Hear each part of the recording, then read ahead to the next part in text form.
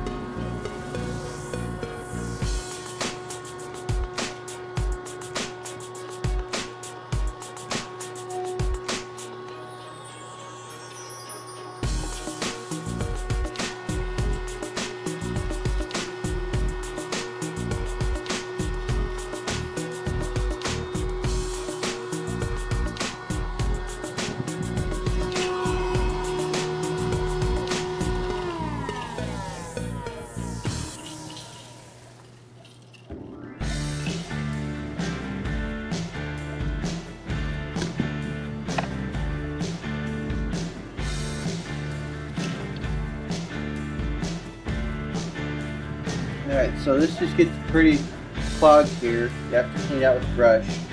And the brush comes included in the kit. So here we go. Here's what we got in here. Not much. Most of it actually got stuck in the hose and it came back out after I shut it off.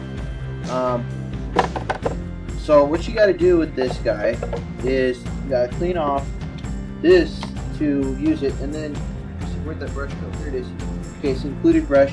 Now, um, when you clean this off and you use this product, you have to use the small nozzle, the small tip, because if you don't,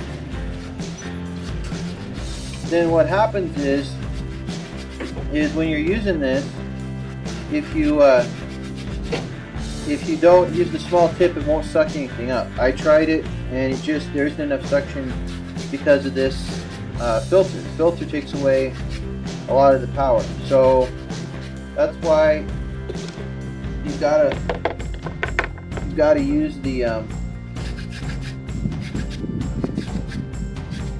the small tip, and I'll show. That's one I've been using. I'll show it to you. If you try to use just the hose, there's not enough suction power, and it immediately clogs this uh, this filter here. Okay.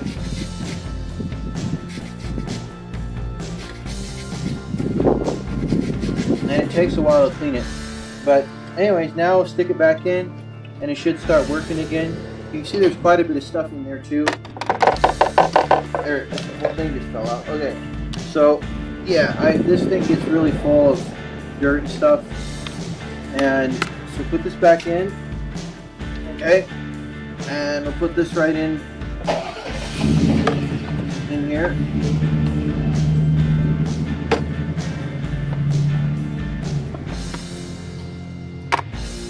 There's that small attachment that's on the end. Like I said, if you don't use a small attachment, it's not going to work. So here we go.